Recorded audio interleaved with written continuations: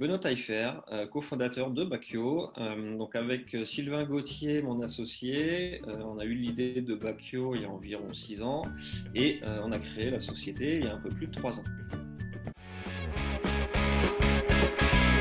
Nous, on a choisi de dépoussiérer un peu le milieu des logiciels de gestion commerciale pour les domaines viticoles.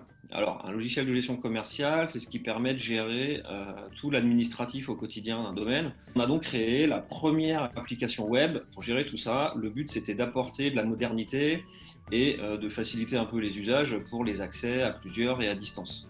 Et dans un second temps, là où on a euh, innové un peu plus, c'est en fait on a créé une API pour permettre à toutes les sociétés du milieu viticole d'échanger des données avec les domaines.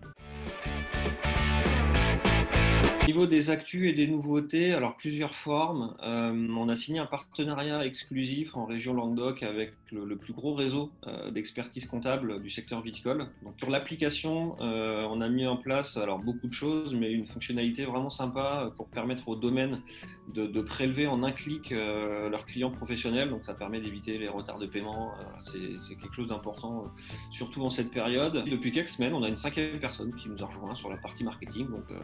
Donc voilà, ça bouge un peu sur tous les fronts.